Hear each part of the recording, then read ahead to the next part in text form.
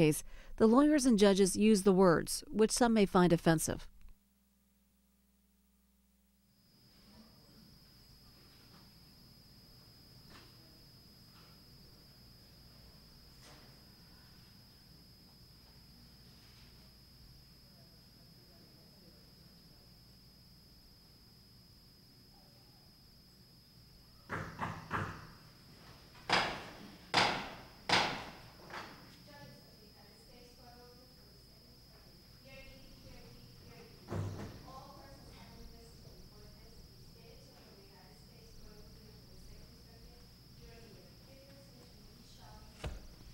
Thank you. Good morning. Please be seated.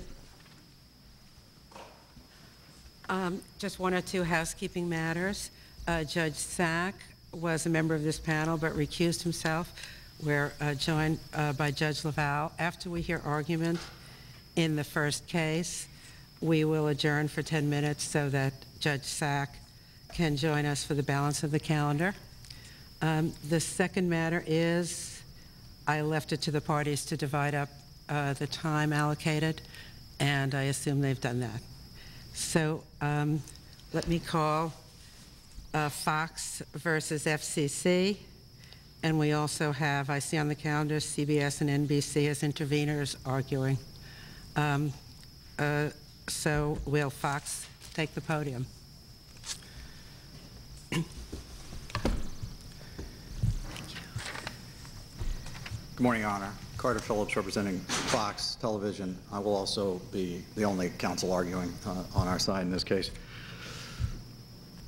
In 2002, uh, the renowned actress and singer Cher uh, responded to her critics uh, in a television show by saying, fuck them.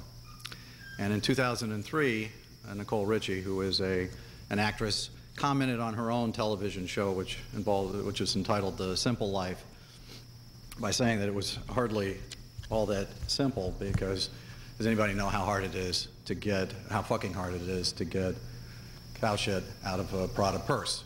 And Did uh, Fox plan those? No. Those uh, statements? no, there's no dispute that Fox did not plan them. The only assessment by the FCC is that Fox was arguably negligent in failing adequately to uh, respond to the possibility that, our, that those statements might be offered. But Would it have made a difference if Fox knew in advance? Will you concede that? Well, it would have, it would have satisfied the intent standard that we believe is appropriate uh, under the statute, but it still, from our perspective, it wouldn't, it still wouldn't make this conduct indecent. And both of those um, uh, award shows were on the air before the Golden Globes order. Is yes, that both correct? of them predated the Golden Globes order. So as of that point in time, you know, we have 30 years of unbroken precedent where the Commission recognizes, obviously, that the use of these expletives is offensive to some, but has never declared that the use of these expletives is a basis for any kind of a sanction. I mean, we start. Let me just say, say a word. Uh, First, let me ask you all to recognize that the acoustics in this room are terrible. So Okay. please uh, uh, speak good and loud, emphatically uh, and clearly. Uh, I, I just, I don't see why, I don't understand why Fox's uh, knowledge or lack of knowledge really has anything to do with the question whether, uh, whether what comes out on the air is, is, is indecent or profane. Oh, I Uh, It may have a lot to do with whether a penalty should be imposed, which was not imposed in this case. But uh, uh, you would agree, I take it, that, that planned or unplanned has nothing to do with whether the content is indecent. Right. I think if, if it's scripted and intended to be put forward on the air, there's still the fundamental question as to whether or not the particular words can be, u- can be declared to be indecent. And then after that, obviously, you go into the question of intent. Or if they're integral to the work, then they may, may be found not indecent, like Saving Private Ryan. Right. There's no question that the Commission has a, a basic approach that says that we will presume that the use of, of these particular expletives, fuck and shit, are specific words, is, is presumptively indecent. And then you have the opportunity to come in and, and try to rebut that presumption by saying that there is some contextual basis for supporting it. But, you know, obviously, the the creation of the presumption in the first instance is a complete departure from any notion of context because it's saying these are words that are categorically barred, which is something the Commission has never said in 30 years of, of enforcement of indecency. Well, the words are the same. The regulation is the same that's been in effect, hasn't it? It's just, it's a different level of enforcement. It's a, it's a demonstrably different level, And it's not new words. They always, and these are the words that have been used in other contexts as well. It's the barring of the reference to sexual and excretory activities and organs. well, the generic policy has been essentially unchanged since 19, from, since Pacifica was decided in 1978. But yes, you're right, Your Honor. What has changed dramatically is the Commission's decision that any use of these particular words becomes essentially a per se violation, regardless of the context, which is, as I say, a dramatic departure from anything that existed prior to um, this. An agency that changed how they view uh, words that pre-existed. Um, And they started by 2001 giving industry guidance, which didn't change. Didn't change a thing on this score, no, Your Honor. And then in 2004, issued the Golden Globes order. Um, Do you argue before us that they didn't give reasoned analysis for the Yes. change? That is precisely what we're arguing, Your Honor. That if you look at the justification for the change, all that's put on, in place is, a, is this first bite principle. That's essentially their argument, which is that you have to stop any kind of, of uh, exposure to these words for, the, for children. And What would they have had to do to convince you that it was a reasoned analysis?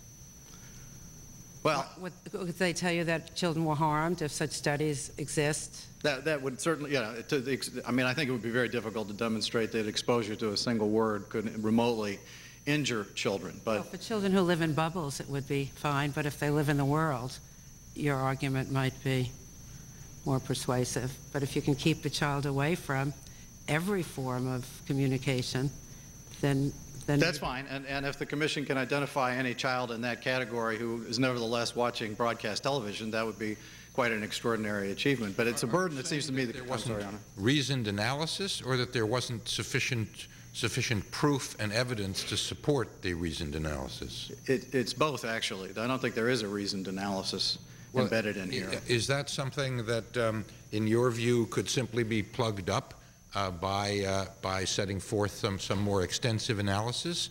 Or is it your position that the, that the, that the position taken by the Commission is simply unjustifiable so that, um, so that there can't be any reasoned analysis of something that's unjustifiable? I mean, our, our alternative argument, obviously, is that this is First Amendment protected activity and that you need to have a compelling state interest that is, and narrow tailoring, and you're not going to get that in puzzled- this I've been puzzled by your argument about lack of reasoned analysis. It, it seems to me that, that, uh, that they explain why they take the position that they take.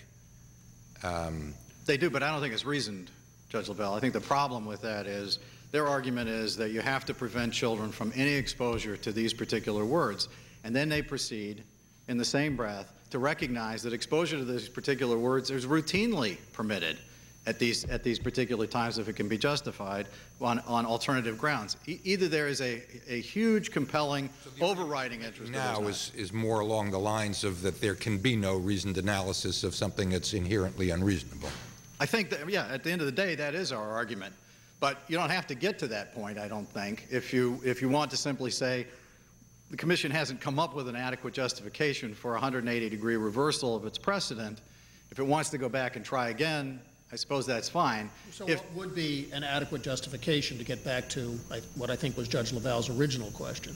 Well, in the context of a, of a single use of an expletive, I don't know that there's ever going to be anything that satisfies that. So I- the bottom line of your argument here then, Mr. Phillips, is that the FCC can, cannot regulate the fleeting expletive, if you will. I, I think that's right, although, I, I you know, I, I, I don't have to sustain that argument. All I have to demonstrate is they haven't done it to date.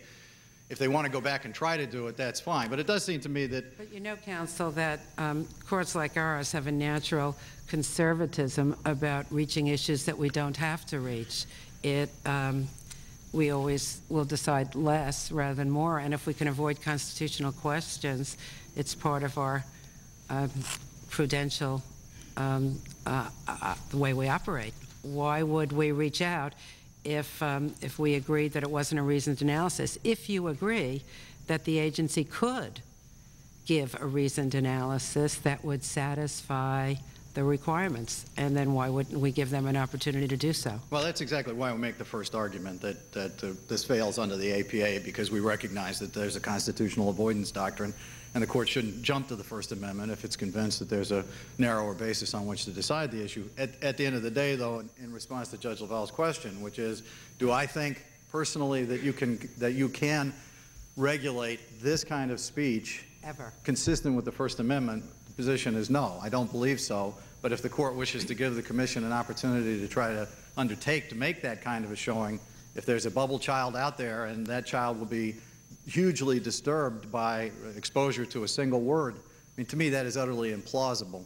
But I suppose if the commission wanted to make some effort along those lines, And that's what you'd be looking for, their, their argument that they really are preventing harm to an identifiable population.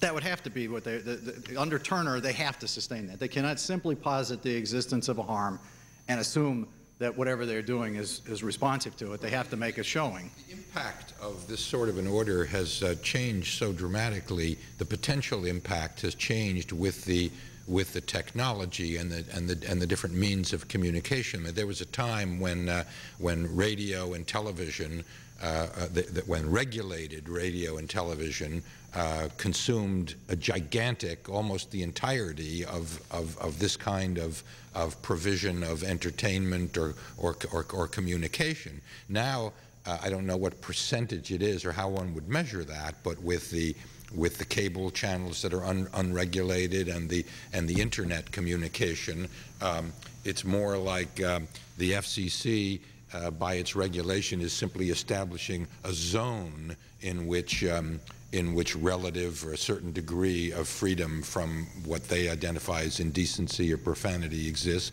But there are all these other other zones which are completely unregulated. Right, and not only unregulated, but frankly indistinguishable from the viewer's perspective, I, I would submit. I, just last night, as I was sitting in my does that hotel room, favor in that, fa- that favors us, it seems to me, because Why doesn't it favor regulating cable? Because, ca- well, I mean, it, it may favor regulating cable, but I think it's going to be difficult to overcome the First Amendment Statutory hurdle. authority or constitutional authority? Well, I don't think there's, uh, it's going to, there's a serious First Amendment problem in trying to regulate cable, and, and I don't know that the commission is going to be prepared And to then, of course, there would have pursue to be that. movie regulation, too, I guess. Right, you're going to have to go across the board. You're not going to be able to parse out a specific area of the media. But the, the point I was going to make is that from the viewer's perspective, there is no distinction between a cable TV channel and a, and a Well, there's the network distinction channel. that, there's the distinction that somebody who, uh, somebody who wants uh, to have their children, to, to better protect against their children uh, hearing this stuff, uh, can simply not have cable, can have only regulated television in their house, or can somehow uh, uh, make rules in their house that their children don't watch cable and don't watch internet stuff, but only watch. So it, it, it, it provides a vehicle with, with less constitutional impact. I mean, there's less suppression of speech if the only suppression is within this range of, of regulated, uh, regulated network programming. Yeah, there, are two, there are two answers to that, Judge LaBelle. First of all, of course, the, those same parents uh, obviously have access to the V-chip as a technology to help regulate what the their children V-chip can get doesn't protect against an unexpected uh, fleeting expletive. Well, it can, depending on the on how the on the particular show is rated. But It's- then we would get back to Fox knowing in advance that uh, Cher would be so effusive in thanking her supporters. Well, the alternative would be obviously that you might you might impose a, a somewhat higher rank rating in order to anticipate the possibility, even if you didn't anything actually that's believe. live, I'm sorry. on anything that's live. I suppose you could go that far, although I think that would be way overkill, given that uh, an awful lot of live televi- television doesn't, I think, raise a serious risk of doing it. But at the end of the day, the most obviously more appropriate response to all this is to recognize that we're talking about First Amendment values here, and the question is not, is there some mechanism by which we ought to be looking for a way to regulate what we're talking about as First Amendment values, but rather to place the burden on the commission to demonstrate that there is a compelling need and that their approach is narrowly tailored to achieve that compelling need. And I submit to you, they, one, haven't sustained, they, they haven't undertaken to sustain that burden. Candidly, I don't believe that they could ever actually accomplish that uh, under any circumstances So, in so any you event. believe, even though the words were part of um, the FCC's uh, decency regime for 30 years, um, that now when they go to enforce it, there really can, cannot be um, indecency regulation? It's important to be very clear about what their regime was for 30 years. Speech that is indecent must involve more than the isolated use of an offensive word. That's the policy And now they that's have been out there. admitted that it's a changed policy. For a while, they said it was always somehow lurking there. Well, they say that it's um, somehow always been lurking there, but I can assure you from the, from the network's perspective, it has never been assumed that there was any potential risk. And indeed, if you look at the 1987 Pacifica order, which specifically approves, you know, a- a- against an indecency charge, the uses of the phrases motherfucker, eat shit, and fuck the USA, and walks away from them and says those aren't indecent. Two, two observations. Uh, uh, I I don't think the FCC ever took the position, as you just described it, that in order to be indecent, it must involve more than a fleeting expletive. There was a likelihood that that uh, that there would be no finding of indecency uh, without repetition or something more than a fleeting expletive. But it, I don't think. Correct me if I'm wrong. I don't think that the FCC took the position as categorically as you said it. But secondly, why does that matter? Uh, if they've changed their position and if they have given a reasoned explanation of the change of their position, I know you argue they have not, but if they have explained it in a manner that satisfies the legal requirement, why do we care if they've uh, changed their position? Well, I take issue with the premise because I do think that they have consistently taken the position that if all we're talking about is an isolated expletive, that that by itself does not rise to the level of indecency. they, said, that a on a number of occasions. A factor in finding uh, in finding uh, patent offensiveness would be repetition, but that's clearly correct. If there's more and more and more of it, that's more and more likely to be offensive. But um, the, the, the, can you point to me a, a place in writing in which the FCC said um, if it's only a fleeting, a single use of an expletive, it will not be found to be It- it- I mean, I, I don't know how to read it any closer than the Pacifica case, and I'll read the language to you. If a complaint focuses solely on the use of expletives, we believe that under the legal standards set forth in Pacifica, deliberate and repetitive use in a patently offensive manner is a requisite to a finding of indecency. And had they ever And the- tried to find liability for a fleeting expletive before uh, Golden Globes? No, no. So, so it's not that they didn't, they may, they've written it, you say, but, and they never tried to enforce it. No, what they, what And they were there recognize. fleeting expletives, by the way? Were there fleeting expletives on, uh, on broadcast radio or television um, in the years between Pacifica and Golden Globe? Oh, absolutely, numerous times. As I said, I, don't, I won't repeat the words, but the, Thanks. but the, the but the, you know, the three words were in the Pacifica order that gave rise to the language that I just quoted to Judge Leval.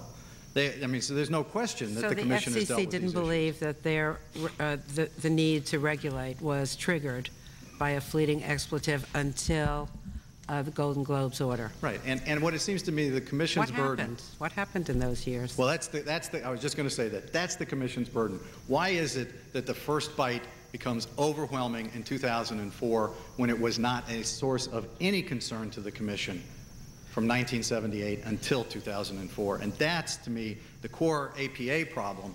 As I say, I think at the end of the day, you're not going to be able to sustain this under the First Amendment in any Counsel, event. your your red light has has gone up, but I'm watching the time. I will give the FCC an equal amount of time. I have two questions. Thank you. Um, You rely heavily on uh, the Supreme Court's decision in Reno uh, versus um, ACLU, um, uh, which uh, found, which uh, found that the same language that we're talking about here, when it related to the Communications Decency Act, was unconstitutional. But didn't Reno distinguish Pacifica, and it, doesn't Pacifica, isn't it still alive after Reno? Well, Reno clearly distinguished Pacifica, and I'm not, I'm not suggesting the court reversed Pacifica. We all agree that Pacifica still is.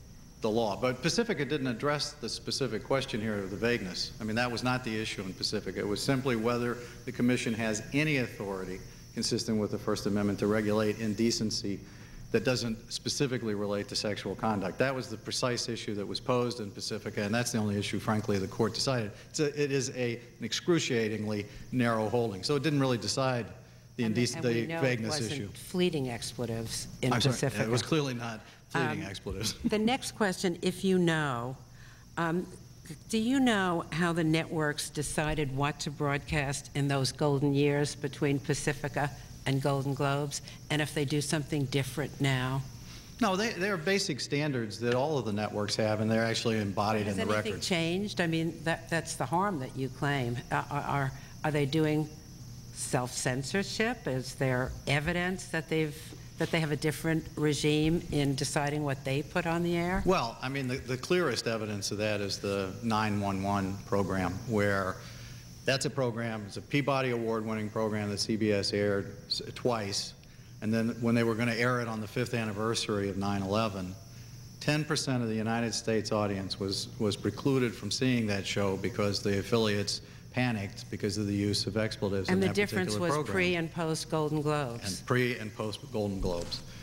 And that's, that's what, you know, there is an entire in terrorem regime that the commission has now created as a consequence of Golden Globes, left in place for 32 months and a day without coming out with a response to the petitions for reconsideration. And they leave it out there for the networks to respond What to. is the status? Well, it, well, uh, it's uh, Golden Globes. I think NBC is the would be is the company against two. Well, yeah, the- the- but all of the networks, and indeed the entire. Have participated, you Everybody's filed comments? participating and asking for the commission to come out with a decision in that.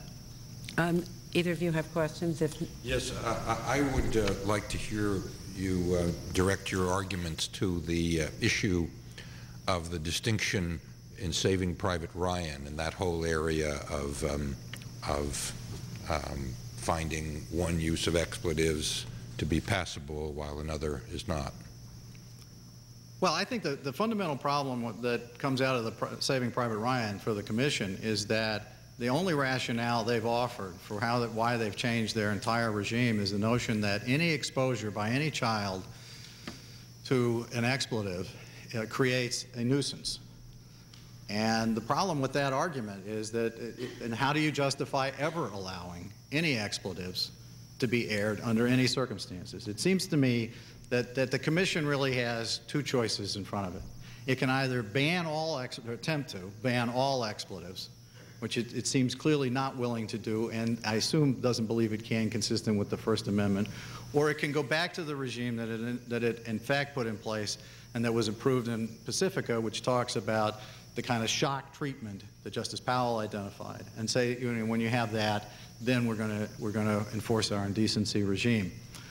Anything in between them, it seems to me, it creates nothing but a censorial board with the commission picking and choosing what it likes and what it doesn't like in a way that is inherently arbitrary, both as a matter of APA review Well, do you and as think a it's matter of First arbitrary and unjustifiable to distinguish between Nicole Richie and Save- Saving Private Ryan? No, I, I mean, I don't think you can do that, and I think that's precisely what, I was going to quote Justice Powell on that, because I thought he's, I thought he said the point quite well. I do not subscribe to the theory, and remember, he's the, he's the deciding vote in, in Pacifica, The justices of this court, and I would take that to extend to the commission as well, are generally free to decide on the basis of its content which speech protected by the First Amendment is most valuable and hence deserving of the most protection, and which is less valuable and hence As I deserving of understand, less the- the distinction that was made in favor of Saving Private Ryan was not based on, on value, but based on, on, um, on, on the question of patent defensiveness to the community.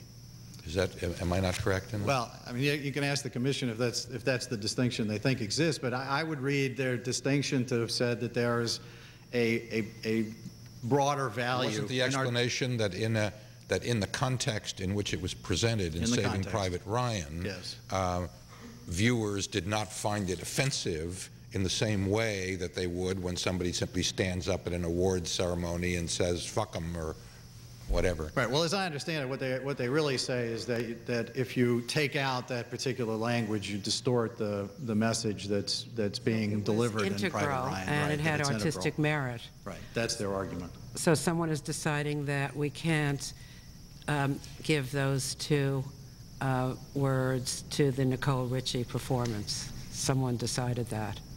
That it Right. wasn't integral to her um, giving an award, and it had no artistic merit. Right, but of course, that's, that's not the fundamental issue. That's only if you get to the point where you conclude in the first instance that an isolated expletive is itself per se indecent. Then you get to the issue of whether or not there's some particular reason to speak that way. But it does seem to me that at the end of the day, all you're really doing is, is creating a regime that allows you to say, this is better speech than this is. And while I, I can't imagine a regime that is more antithetical to the First Amendment values. If there are no other questions, I've added the 10 minutes to your time, and I'll give the... Thank you, Your Honor. Um, And you've reserved five minutes. I have reserved five I minutes. won't go into that, so I will give up to 29 minutes to the FCC.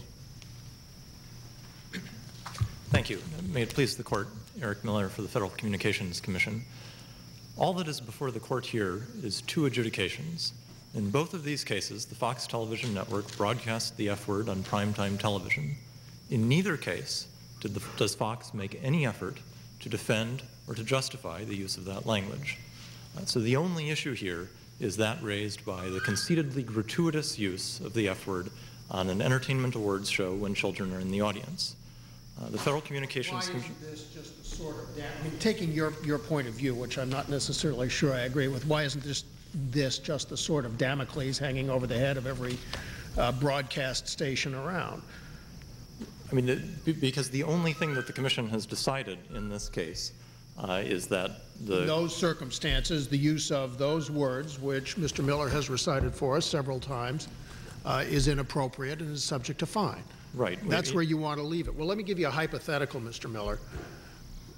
This uh, is being fed out by cable here, and presumably the broadcast media can pick it up. And let's say they uh, pick up the portion of Mr. Miller's argument, or, excuse me, Mr. Phillips' argument, I'm sorry, thank you.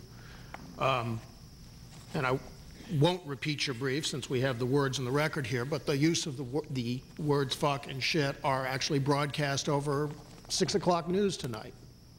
I- Is that going to be subject to FCC um, hand slapping? I, I think plainly not, uh, for the Uh, reasons. because? for- For the reasons stated uh, in, in this very order uh, with respect to the early showcase. Uh, The Commission has emphasized that it will exercise great restraint uh, when it comes to news programs. All right, well, let me, You- You say there's no news Th- exception. There isn't a- a news exception in the sense that you can't simply slap the label news on any broadcast and let let me immunize give it. you the hypothetical, expand the hypothetical where Fox wanting to air so its viewers are reminded of exactly what's at issue here, pulls up the clips from the uh, Billboard Music Awards and shows those two instances of Cher and Nicole Richie as background or in conjunction with reporting on what's happening in this courtroom here today. I mean, to, to, to be indecent, the, the use of the language has to be patently offensive, which under the Commission's analysis requires that it be So presented. how is a to- rebroadcast of the clip in the context of news any less offensive than it is in the Billboard Awards? Because it, in in that context, uh, as the Commission explained in, in the early show order, it's not being presented to, to pander or to titillate or for shock value. It's being presented uh, to inform viewers of what the case is Can I about. talk about the early show for a second? Because you just said that you can't slap the word news on anything. Okay, so this is what you found uh, merited a news exception. It was a discussion of a reality show, correct? Yeah, that- that's now, right. that's not real in the sense of being real. It's an entertainment show, correct? Th- th- That's right. And the exception that the FCC found for news was someone who had, as I understand it, been um, made to exit from that show, talking about people who were still left on that show. And you called that news? The, the Commission. asking. Yes, yes. uh, The, the Commission is not. What wouldn't be news under that standard? I I mean, the, the Commission is not in the business of second-guessing uh, the journalistic and editorial judgments uh, of broadcasters. Uh, The early show is. So why can't they call everything news? Uh, You just said you can't slap news on anything, I mean, and the- now the- you're saying you're not in the habit of second-guessing. Which the- is it? The, the, the test that the commission articulated in the early show order is that we would, that we said we would defer to CBS's plausible characterization uh, of the program as a news show. Did you mean to suggest by the use of the word plausible that it was a stretch? Uh, Not necessarily. I I think it- that, that- that word is just in there to emphasize that it is indeed a, a very broad exception. But questions of the breadth of the news exception are not implicated here, where there is conceitedly, uh, you know, no journalistic uh, theory uh, on which uh, Well, Nicole the Richie's announcement language. of important music awards somehow journalism? One could perhaps argue that, but Fox has not made that argument. It didn't say that before the commission. Uh, it hasn't said that in this court. Uh, at every stage of this case, it has made no effort uh, to defend the language that was used by Ms. Richie uh, or by Cher uh, the, used, the, the year before. But you're so, suggesting if they had, that might be plausible? I mean, it, it would depend on, on exactly uh, what they said. Uh, but that would be something that the commission would have to take seriously. I mean, it, it's significant, I think, that uh, the commission has never um, found a broadcast to be indecent on the basis of an isolated expletive in the face of some claim uh, that the use of that language was necessary for, for any uh, journalistic or, or artistic uh, So are you purpose. suggesting now that um, this could save the FCC um, indecency policy? Are you telling the networks, who I think are all here today, to just make some kind of cockamamie pl- claim and, and they'll survive?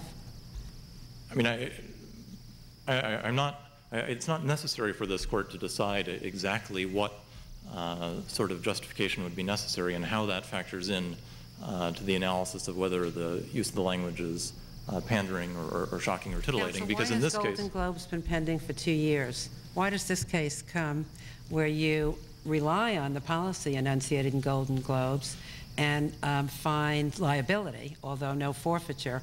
Why does this case come to a court before Golden Globes itself, which has been uh, moldering uh, before the commission for more than two years? I mean, the, the omnibus order wa- was issued uh, initially this spring as part of an effort to give guidance uh, to broadcasters.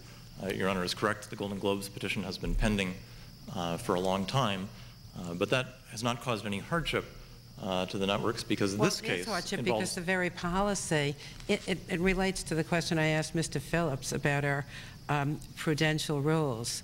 Um, if we cannot reach constitutional issues, uh, we certainly prefer not to, and, and that's, that's the way we operate, to decide the least amount. And in this case, it is not entirely clear that we must reach the constitutional issues, but I can't imagine how they would not be reached in Golden Globes, which enunciates the very policy that's, that we're talking about here. Well, this uh, uh, re-articulates and, and, and restates and applies the Golden Globe policy. So it, we, we don't question that it, the, the Golden Globe policy and its validity is before uh, the court here, and it's appropriate for the court to consider uh, that policy in the context of its application uh, to these two cases, uh, which involved Retreating from your jurisdictional argument that you made in your brief that we only have jurisdiction to look at the two cases in which you found liability, can we now, I, I think you just said that the Golden Go- Globes policy is before us. Well, the, the Golden Globes policy was part of, I mean, by, by Golden Globes policy, what I mean is uh, the idea that the Commission has articulated that uh, the fleeting nature of uh, a reference does not immunize it uh, from the possibility of indecency liability. That idea is part of the Commission's analysis in its adjudication of these cases. So in reviewing those adjudications, uh, the court can look at the analysis uh, that the Commission used uh, to reach those conclusions.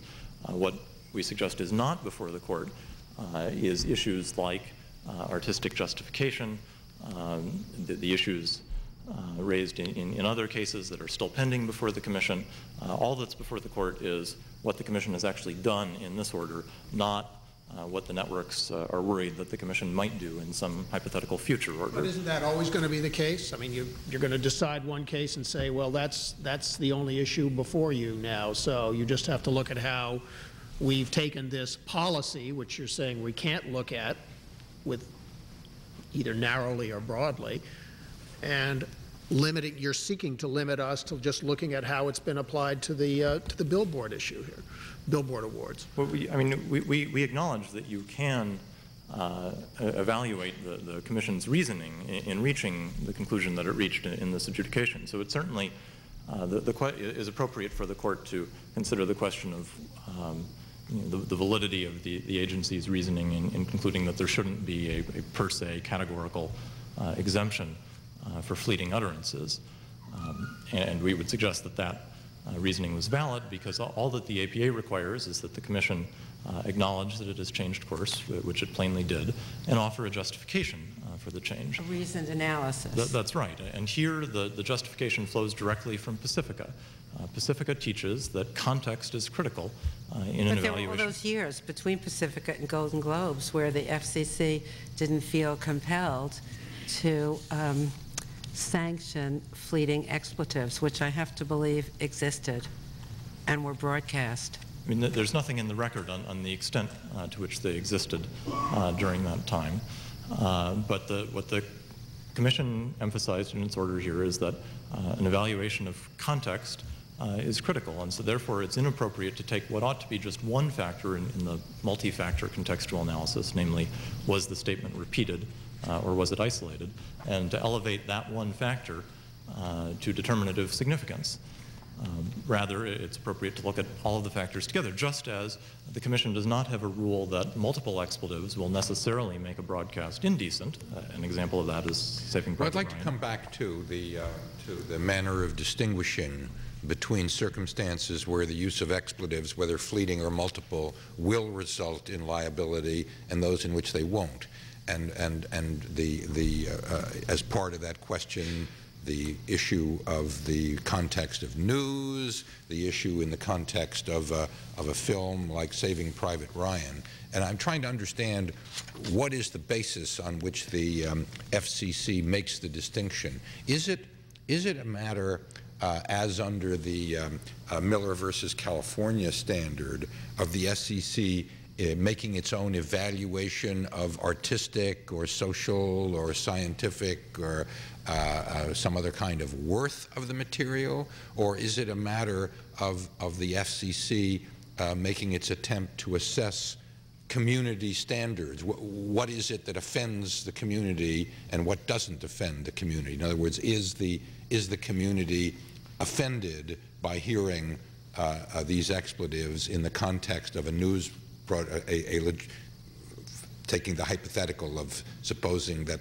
that the um, that a news program reporting on this very argument this morning were to take the clip of Cher and show it as what gave rise to to this, uh, there was a suggestion that that might not be um, might not give rise to liability where the original did.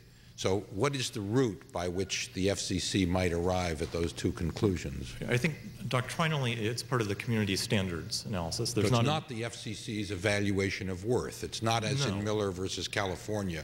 We think this has or doesn't have artistic value. That- it's that- that we think uh, the community doesn't find it offensive in the same way when they're when they're seeing it exhibit as what is legitimately a news broadcast. What was the broadcast that gave rise to this big fuss? That, that, that's exactly right. And, and analytically, the, the way that the Commission deals with that uh, is that patent offensiveness under community standards is evaluated uh, with a three-part test, and one of the factors in that test is was the material uh, pandering or titillating or presented for its shock value. And if it's part of a news broadcast or if it's uh, like the language in Saving Private Ryan, uh, it's not being presented to pander or titillate. And it's yet being it's the same words spoken by the same person, and you can find that the context changes the shock value. That, that's right, and that's exactly what Pacifica says, that the indecency regulation is conducted under a nuisance rationale, uh, and in, under that rationale, context is all important. Well, it seems to me to be to be quite reasonable uh, as a hypothesis. I mean, for example, if one says, uh, "Would you be shocked to hear that a judge of the U.S. Court of Appeals on the bench said fuck?" Well, it might make a big difference whether it was in the course of this argument or in the course of uh, a case that has nothing to do with the subject matter. In, in- indeed, it would. uh, and, and that's what, uh, what, this, what the test recognizes. The, uh, the, the additional justifications that the Commission has provided for, uh, for departing from a, a categorical rule uh, is that, as Pacifica says, uh, it's inappropriate to require children, or, or the audience, and especially children, uh, to take the first blow. Uh, what the networks are really asking for is Do you make them leave before the news comes on tonight? Or do they not get a first blow? Does, the chi- does a child who uh, ostensibly that you're trying to protect, does that child distinguish between um, hearing Cher say, uh, I'm not going to, uh, I'm not going to repeat it, or hearing uh, Judge Leval, or just seeing the clip? Does it make a difference to the child? Isn't every one of them a first blow? Well, I think context might well make a difference even there, but more fundamentally, uh, the government's interest is not unimportant uh, merely because the government is not committed to pursuing that interest in all contexts, regardless of the cost. Uh, we So recognize. you see a limit, a limit to what you can do to protect children in our society, because there are countervailing values. Indeed, there are, uh, and that's that's part of the uh, genesis of the the ex- policy you- of restraint with respect to news uh, programming. You understand um, the petitioner and interveners and most of the um, amicus, the amici, have a hard time understanding those boundaries because they are not objective, they're subjective, they claim. So you just said that what Cher said on the Billboard award show um, merited liability, but if it was played tonight on the news as informational, it wouldn't merit liability. And this seems to be a scheme that depends on what you think instead of having, I don't mean you personally, Mr. Miller, uh, instead of having objective criteria that the um, petitioners can use in formulating their broadcast day. I think there are several responses to that, Your Honor. Uh, First, just uh, as a preliminary point, uh, the Commission didn't find that Cher's broadcast merited liability. I mean, there, there was no fine imposed here. It was simply declared. Well, I, I don't mean liability in the sense of a forfeiture. You found that it violated the Golden Globes order. Did, did you not? I mean, it, it violated Section 1464 and, and the indecency uh, regulation.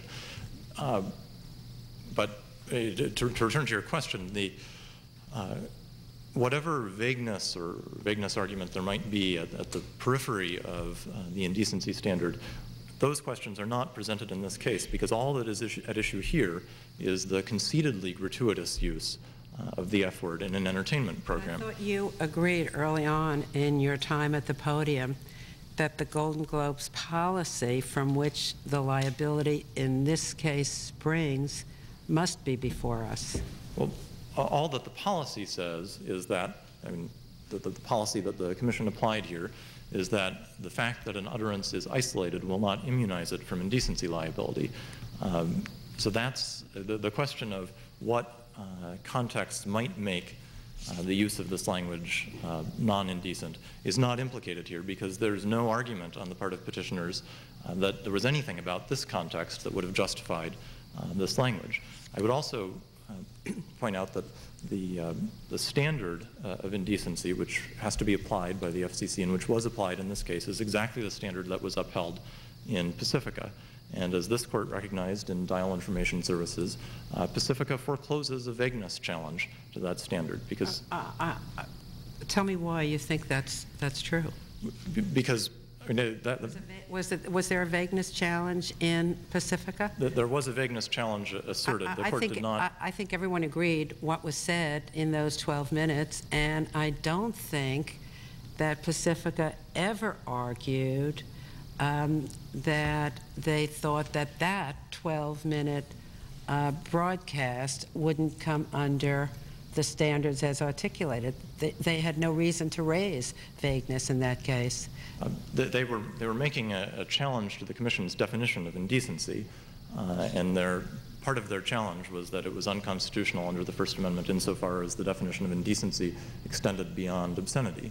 But, but that's not the same as a vagueness challenge. Well, they, I They thought, I believe they thought that the 12-minute broadcast came within the definition. They didn't know if you had the right to impose that definition, but that's different than a vagueness challenge. Th- th- This court held in Dial Information Services uh, that Pacifica forecloses uh, a vagueness challenge to the very definition uh, of indecency um, that that is at issue here. Dial Information Services involved uh, the telephone uh, pornography uh, messages, and the FCC used the same indecency definition there. It was challenged as unconstitutionally vague. And in Dial Information Services, the court said that Pacifica forecloses And was that central to the holding? in, in dial, yes, that, that is the holding of, um, of dial information services. Um, Uh, And it is also the holding, I I would note, of uh, the en banc DC circuit uh, in the Act litigation. Counsel, the FCC views um, um, their role as only policing um, sexual and excretory activities and organs. Is that correct? That- That's the definition Um. And I'm asking you this just because there were no studies, um, as we've, as we've said. You believe there are necessary studies of the harm that comes to children from hearing about sexual or excretory organs or activities. There were no studies attached. You think there are necessary. I'm just stating a fact. That's right, there there were no studies before the court in Pacifica. So I ask you, though, that there are so many studies that are available, some of them, I'm sure, um, valid um, academic studies about the effect of violence on children. How come the FCC hasn't seen that when they're policing the airwaves and worrying about children? How come they have not paid any attention to that at all? I, I believe that there is a, a pending study uh, of the issue of violence, uh, but you, you're right that so far there hasn't been any uh, rulemaking or, or adjudicative action uh, that I'm aware of. Unless uh, the violence was in the context of sexual or excretory organs or activities, then it would get your interest. Well, I mean, wh- what the definition of indecency that was before the court in Pacifica and that the, the court upheld uh, is one based on descriptions or depictions of, of sexual or excretory uh, organs or activities.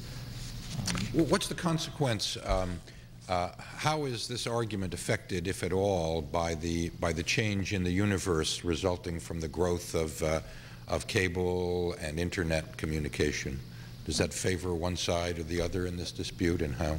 I think it's not affected, and for two reasons. First, uh, even if one concluded that the rise of uh, cable and the internet and other media had in some way undermined the factual premises uh, that were the basis for the court's reasoning in Pacifica, um, Pacifica remains good law, and until the Supreme Court decides that it's time to overrule Pacifica, uh, it's binding here.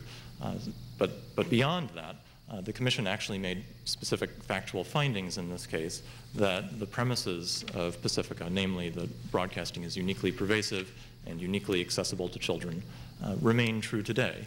So, for example, even though cable television is now um, very, very common, uh, there are still a large number of broadcast-only televisions. Uh, a substantial fraction of children who have televisions in their uh, bedrooms have broadcast-only TVs. And of course, parents who subscribe to cable uh, can exercise some choice in their selection of a Why package. you tell those parents to get the televisions out of the bedrooms? Well, the, the, the, the pervasiveness of, of broadcast, I mean, i- i- is something that the court recognized uh, in Pacifica and in Turner. The court recognized that broadcast television is a, a pervasive part of, uh, and makes a unique contribution to our national discourse. But don't you think a parent who allows a child to have an unregulated television in the bedroom without the parent there to monitor is accepting the risk of fleeting expletives since for since all the years between Pacifica and Golden Globes that risk was present and is still present today depending on context. Um, what, let, what if that child watches the news tonight without a parent there to grab the television? Well, I, I- I think, Your Honor, that that is uh, essentially an argument uh, against any regulation uh, of broadcast decency uh, on the theory that um, parents can simply not allow their children to No, watch it's television. not but an that argument against any regulation. It's just that I find it disingenuous to point to the fact that parents let children have televisions in their bedrooms that are unmonitored as a reason for the FCC to go galloping to the rescue. Um, I think parents know what they're doing when they let a child have a television in the bedroom and they're not there um, to monitor what is on that television. Ditto with computers. Um, That, that, that may be uh, the, the case, but the, the point of that, that factual finding to, to the FCC's analysis was simply that the, the rationales that Pacifica identified, that broadcasting is uniquely pervasive and uniquely accessible to children, uh, remain true And I'm today. asking you, don't parents know about the unique pervasiveness? That's really what I'm asking. You want to substitute. You want to protect those children even when their parents are lax. Well, That, that is the judgment that Congress made uh, in Section 1464, uh, and that is uh, the judgment that the court uh, has upheld in, in Pacifica. Does the, the FCC, I think the answer to this is no. The FCC provide any kind of a means uh, as a guard against a, a chilling effect that goes, that goes beyond appropriate borders? Um, For, for pre-screening, can a broadcaster come to the FCC and say, we're planning to show this? Um, Can we, can we get a, a no-action letter? Can we No. get some kind of a guarantee? The, the commission does not uh, pre-review uh, broadcasts or, or issue no action letters. Uh, no, I mean, I, the, the commission has, has never done that. Uh, arguably, uh, Section 326 of the Communications Act would, would prevent it from doing that. Uh, I think Because what, that what would be censorship? it, it would, it would arguably be uh, a system of prior uh, restraint if the commission were to, to, to do that. But I, I think it's significant that even after What's the difference between that and saying, well, if you guess wrong, we've got you? well, the, Why the, isn't that a prior restraint? The, the commission is, has not at all uh, adopted that policy, and I think this very case illustrates that. Uh, In the commission's treatment of Cher at the 2002 Billboard Awards, uh, the only, the, the stated justification for not imposing a forfeiture in that case was that it was not clear at the time uh, of that broadcast that it would have uh, been actionable. So that's an additional safeguard. Say it was the same. now you've made- Excuse me, now you've made it clear that it is actionable. Well, that, that's right. My point is just that i- i- the, the uncertainty is mitigated um, by the fact that when, when it's not clear uh, that something would have been actionable, uh, the commission will stay its hand and not impose uh, a forfeiture.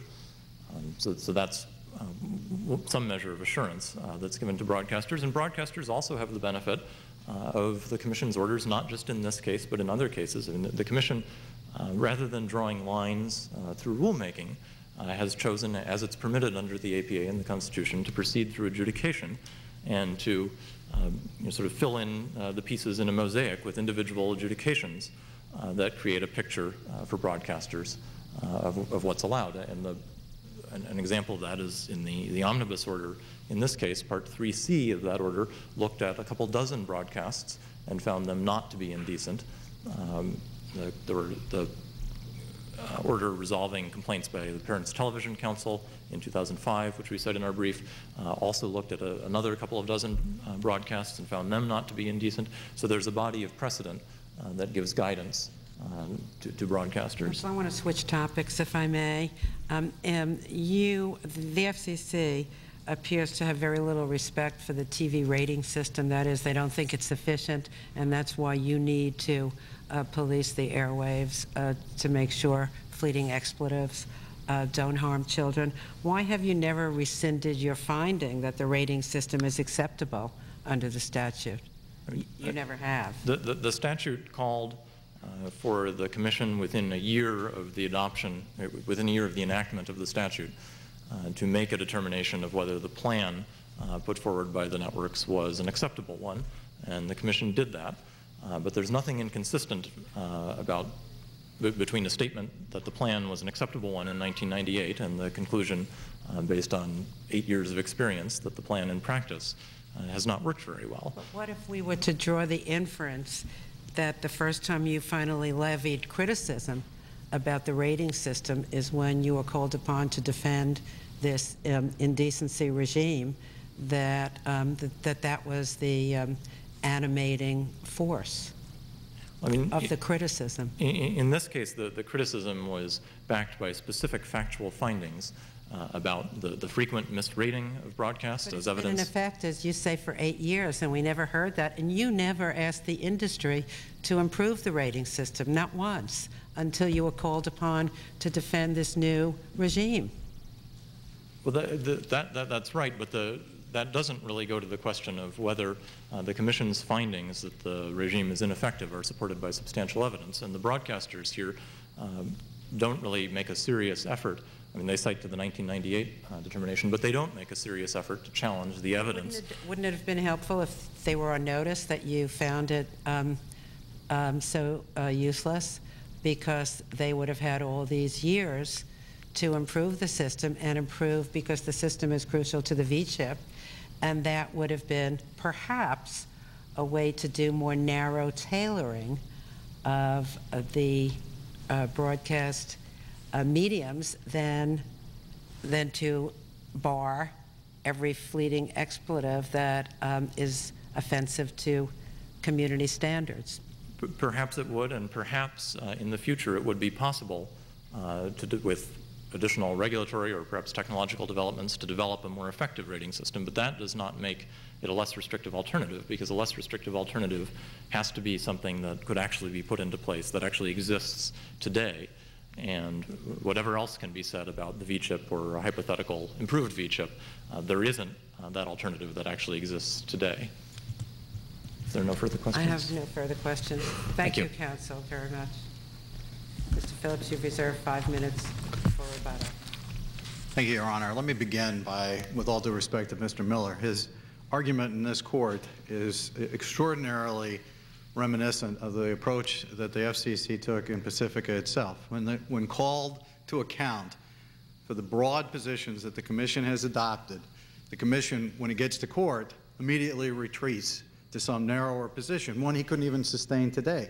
In their brief, they go to great lengths to say that there are two orders at issue here and that the underlying Golden Globes is not at issue and in, under any circumstances. And yet, when pushed on it, obviously Golden Globes is at least at issue in this context because it is the only basis upon which the Commission can go down the path of going after fleeting expletives because the policy that precedes Golden Globes would consistently have permitted precisely what the network did in this particular case without any liability, whether with a forfeiture or without a forfeiture. And it seems to me that the court has to take a very careful look at the risks that come from affirming the commission under these circumstances and what will be poured into the, that vessel. If you read NBC's reply brief, it does an excellent job of saying that simply by giving some kind of leeway to the commission in this context, you end up down the road with a set of rules that are even more terroristic than the ones that we had in place at the outset of this litigation. So that's the first point I want to make. The second point, Judge Leval, is I want to go back to your question, which goes to sort of the core issue of, you know, when do you know that community standards tell you that something is patently offensive? And, the can, and, and in candor, having listened to the argument on the other side, I have no clue at this point what it is that is offensive. We, we know that the commission focuses on first blow. Now, that can't be the problem if the commission says to, tonight you can broadcast uh, this argument live, and you can broadcast Cher and Nicole Richie uh, presenting exactly the same words that were out there. That first blow argument is completely set aside. So how, do, how are we to know now, under what circumstances the community, whatever that means, will find particular use patently offensive?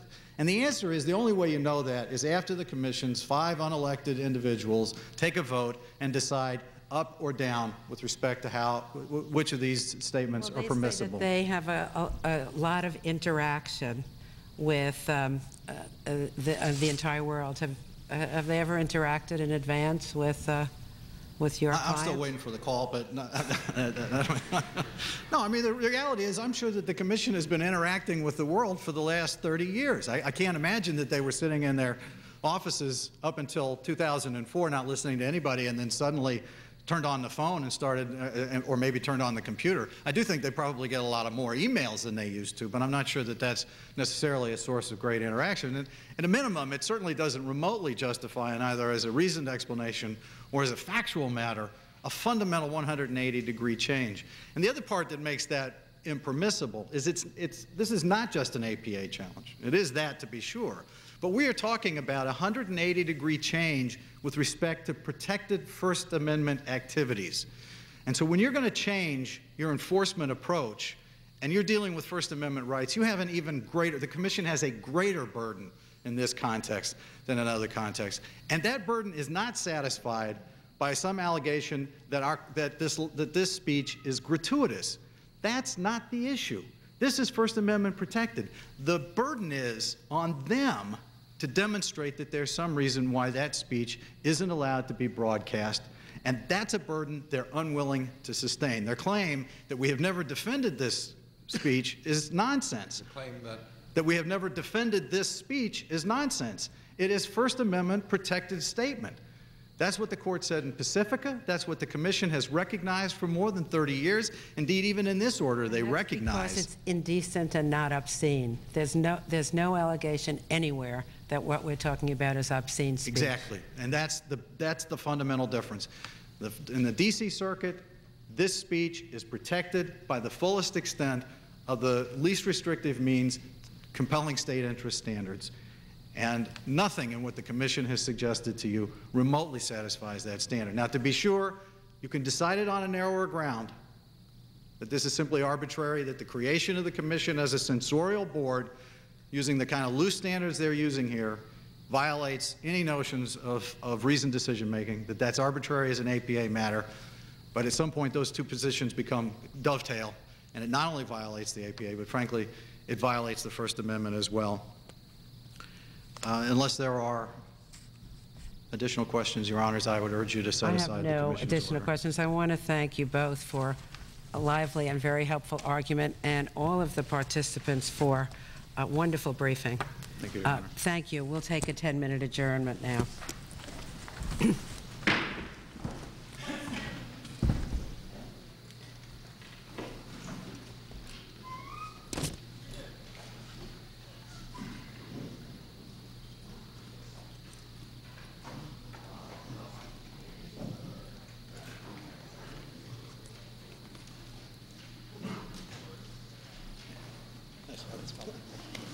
Second Circuit Court of Appeals hasn't yet announced when it would rule on this case. Coming up, President Bush talks about Iraq at his end of the year news conference.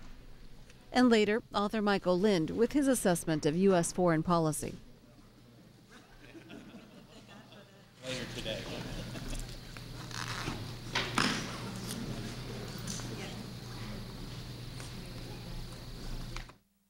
Thursday on the C SPAN networks. On Washington Journal, Pakistan's ambassador to the U.S. talks about the Taliban and Representative Tom Davis, outgoing chairman of the government.